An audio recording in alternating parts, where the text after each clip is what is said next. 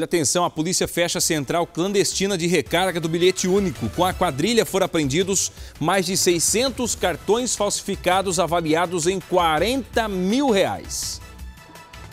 Foi a partir da prisão de dois indivíduos que portavam vários cartões clandestinos que a polícia chegou a mais três, que vendiam passagens a preços inferiores, junto às catracas da estação da CPTM do Itaim Paulista, na zona leste de São Paulo. Interrogados, os cinco presos levaram os policiais até a central clandestina, onde os cartões eram abastecidos. No local, os policiais encontraram 619 cartões e vários notebooks, que eram usados para recarregar os cartões. Além disso, celulares, dinheiro e um caderno que era usado para a contabilidade da quadrilha. Mais sete pessoas foram presas em flagrante.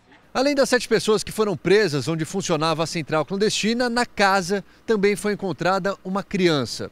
E o pai dessa criança se exaltou com os policiais e tentou agredi-los. Mas o homem foi imobilizado e algemado rapidamente.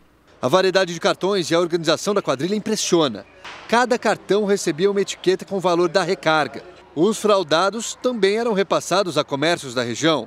Neste bar foram encontradas ainda máquinas caça-níqueis e drogas.